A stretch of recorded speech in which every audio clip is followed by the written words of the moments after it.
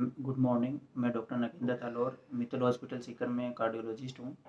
आज उनतीस सितंबर को वर्ल्ड हार्ट डे मनाया जाता है और इसकी हर बार एक थीम होती है और इस बार की जो थीम है वो है डिजिटल हेल्थ।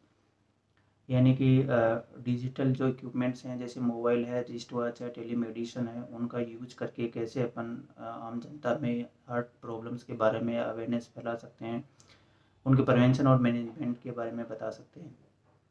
लगभग हर वर्ष एक करोड़ छियासी लाख लोग हार्ट अटैक और coronary artery disease, cardiovascular disease के कारण एक्सपायर हो जाते हैं, जिनमें हार्ट अटैक कॉमन कारण रहता है। और ये एक प्रिवेंटेबल कोज है, क्योंकि हार्ट के कुछ रिस्पेक्ट रहते हैं। यदि अपन उनको समझें और उनको प्रॉपर मैनेज करें तो अपन काफ़ी हद तक हार्ट अटैक से बच सकते हैं।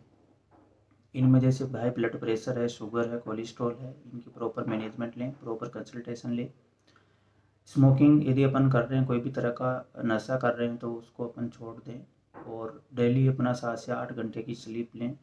डेली फ़िज़िकल एक्टिविटी करें, तीस से लेकर पैंतालीस मिनट तक की फ़िज़िकल एक्टिविटी करें। उसमें साइकिलिंग जॉगिंग स्विमिंग रनिंग कोई भी एक्टिविटी अपन कर सकते हैं।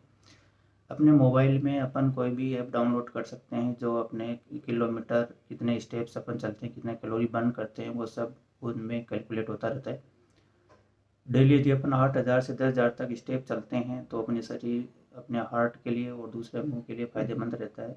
तो इस हार्ट डे पे अपन अपने और अपने आसपास के लोगों को हार्ट प्रॉब्लम के बारे में अवेयर करें, उनके बारे में उनको बताएँ, उनके मैनेजमेंट के बारे में बताएँ और डेली एक हेल्थी लाइफ स्टाइल को फॉलो करने के लिए एडवाइस करें।